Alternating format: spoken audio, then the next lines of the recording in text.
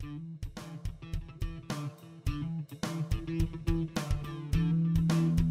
everybody, welcome back. We're going to continue our series in drawing, and we did some sketches last time. Today we're going to draw a little more precisely. We're going to use, uh, we're going to learn a new tool.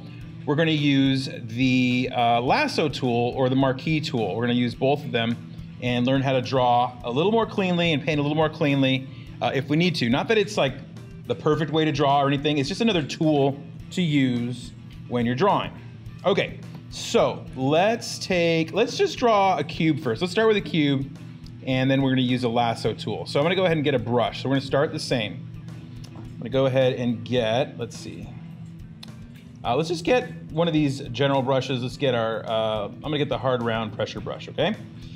And first thing I wanna show you, uh, this isn't the selection tool part yet, but let's, take a look at what layer we're on again. I'm on my sketch layer, that's fine and I'm gonna go ahead and make a straight line. Now, instead of just trying to draw a straight line like when I was sketching before, this time I'm gonna hold down shift, okay? So hold down shift on your keyboard, and then it's gonna make your line go either vertical or horizontal, depending on which angle you start making your line at. So there's my first line there. I'm gonna go ahead and go to this top here, and I'm gonna hold down shift again. There we go. Now I got a nice little perfectly horizontal line. And again, going down. And then again across. Whoops. Okay, so it made a little line there. Let's get rid of that. That's from holding shift and getting lines a different way, but we'll talk about that in a second. Okay, got a cube here. Uh, actually, got a square, right? We want to turn this into a cube. So now let's go ahead and make some lines diagonal. Now, I can't hold down shift and go diagonal. It's not going to work. What I need to do is I need to click, hold down, hold down shift, click here, and then click at another spot. So if I do that, and I'm holding shift, it'll make a straight line between them, okay, at whatever angle you want. So I'm gonna go ahead over here and try to get the same angle. So once again, I'm gonna click down with my pen. So I'm gonna hold down shift, click there, and then click over here. And I'm trying to make this line parallel to that line right now, just for a little like isometric cube. Okay, now I don't want to do this line because it's going to be, um, that'll be blocked by the cube itself, but I'm going to go down here. I'm going to hold down shift, click over there, kind of do it a few times to thicken up the line a little bit. Okay, now I can go ahead and finish off the back of the cube by holding down shift, going straight down until I hit the line, and straight across. Okay, and you can see here that the line width kind of changes when I, oops, I held down shift again. Uh, when I do the shift and click from when I just do a stroke, there's a little bit of difference. It's not, I'm not trying to get, um, this is not to make a precise, exactly even line. This is just to get some straight lines. And there are other ways to make your line dead even, which we'll learn about soon enough too. Okay, but either way, I have a pretty precise cube all right? A little cleaner than my other stuff, right? That's what I want to show you guys. Okay, so now, let's say I want to be really precise when I paint it. Okay, I want to, I want to paint it nice and cleanly. For this, we're going to use our selection tools.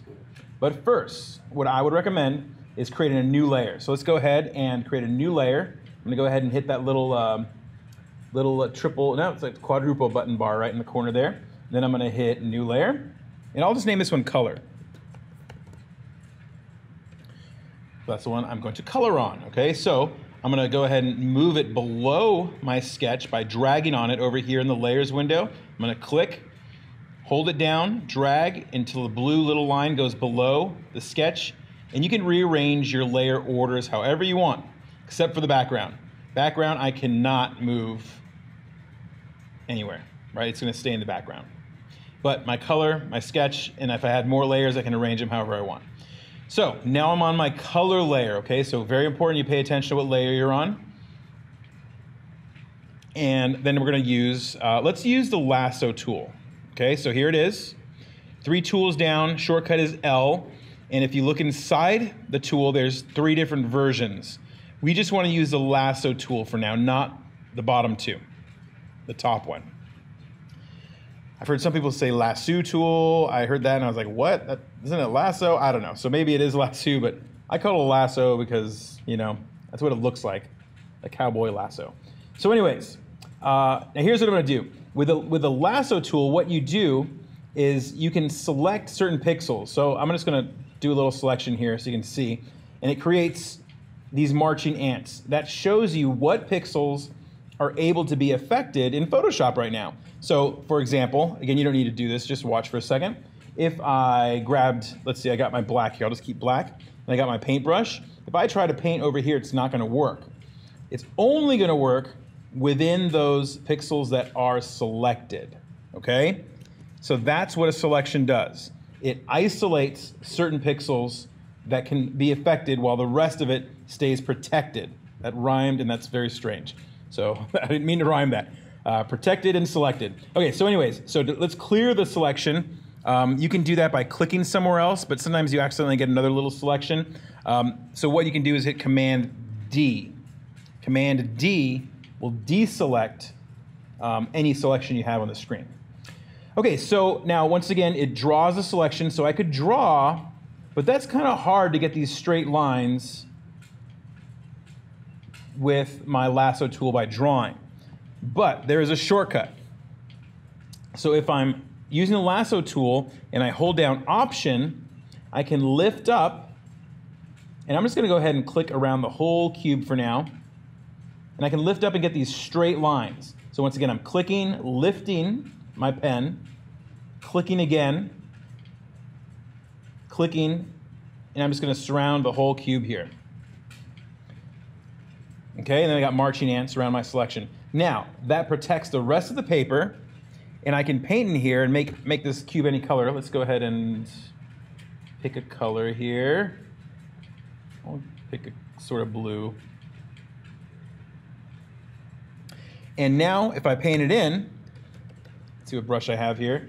The hard round, I'll go to that one, solid one. My opacity is at uh, 50. That means I would have to paint it a couple times to get it solid, especially if I don't press down hard enough. And I can fill it all in without affecting the rest of my image. Okay, so now that's one way. I can use my brush, but there's a better tool for this, okay, that I want to show you. The other tool that we can use to fill this in, if I want to just get a block of something filled in is the paint bucket tool, okay?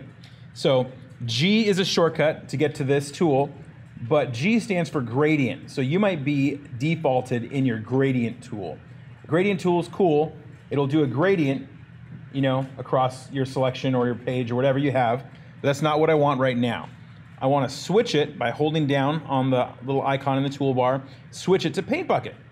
Okay, so once I switch it to paint bucket, it's gonna dump in a full, like, just block of color. Um, the, the opacity was 100%. It, you can lower it, uh, you know, if you want, you can affect some things here.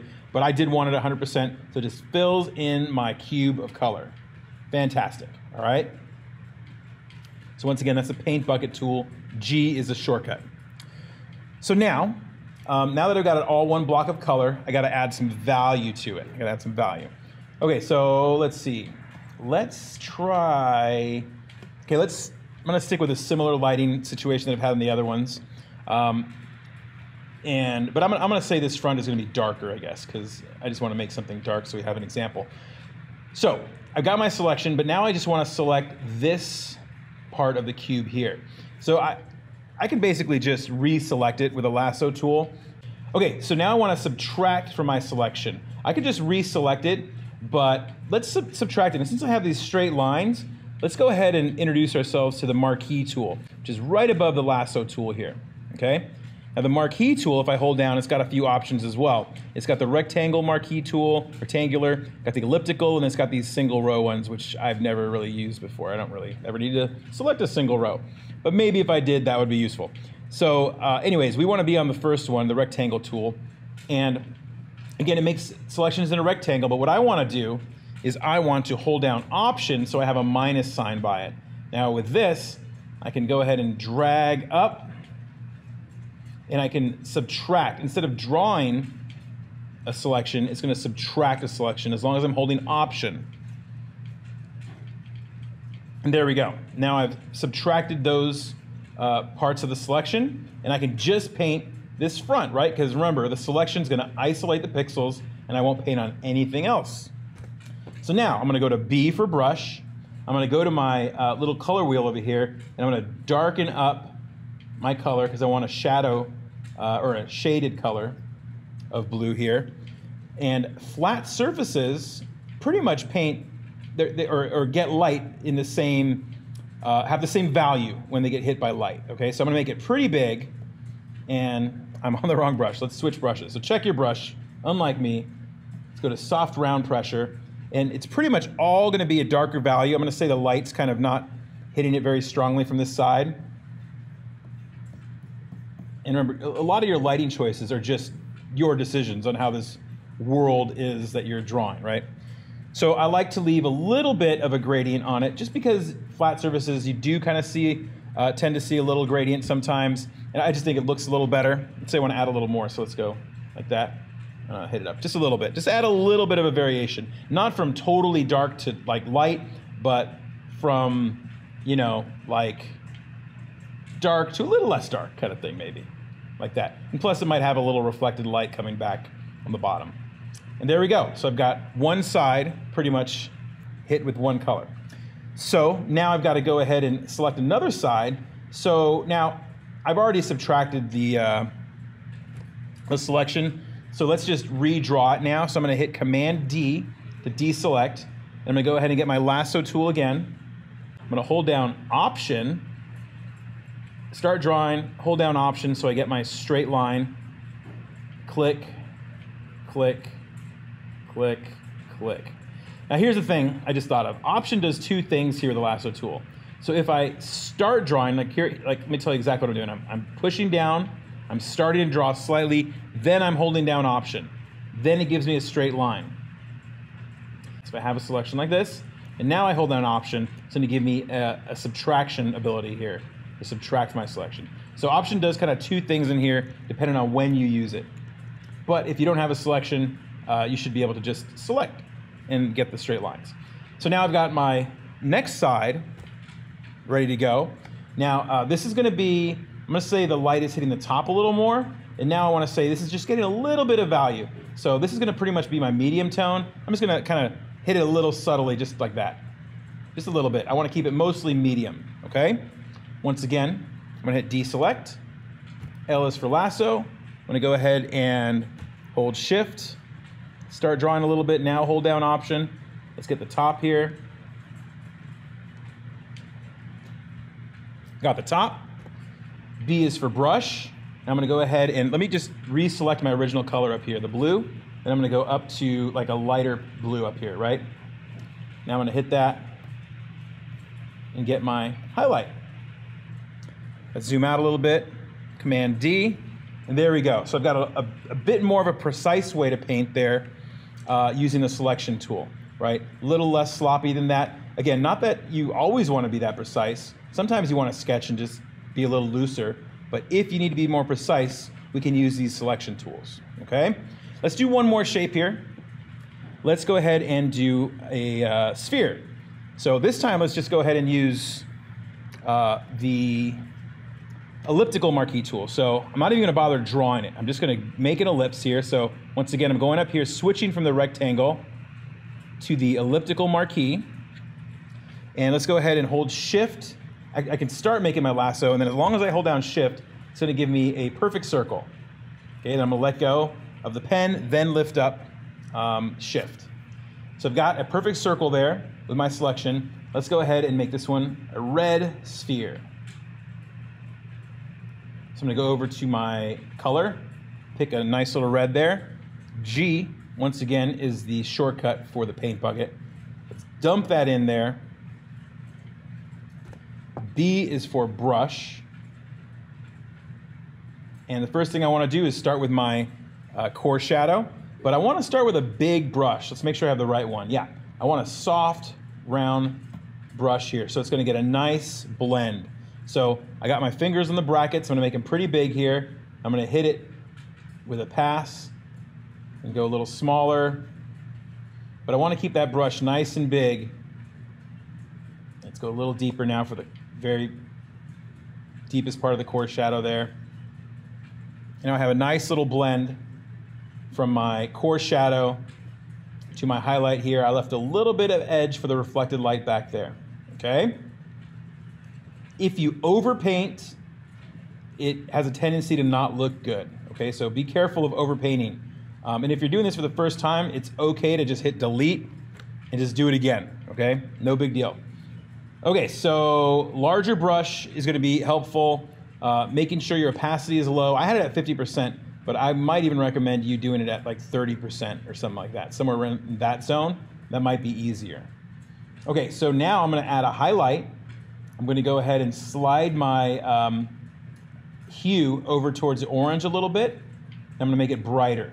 Okay, so I'm gonna go over to this zone. And again, I'm gonna make my brush a little bigger here.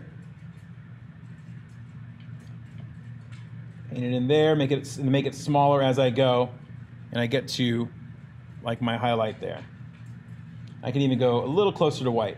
General rule of thumb is you don't want to highlight with white and you don't want to shade with black. You always want to keep some color in there. Okay, it's gonna look better than just going straight to black and white.